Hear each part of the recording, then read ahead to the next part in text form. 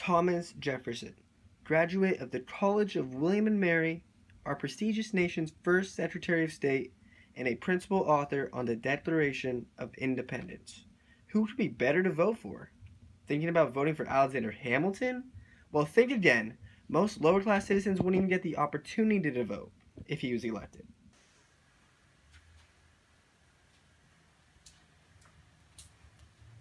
Hmm. Can I vote? Of course you can vote.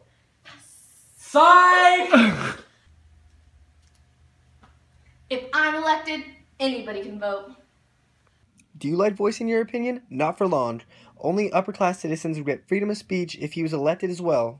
Have you heard of Hamilton? Yeah, I think I have. Like, how many. No one said he could talk! A vote for me is a vote for freedom of speech.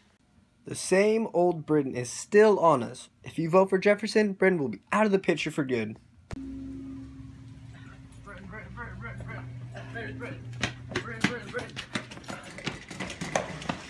Let me in. Vote for me and we can keep Britain out. My name's Thomas Jefferson and I approve this message.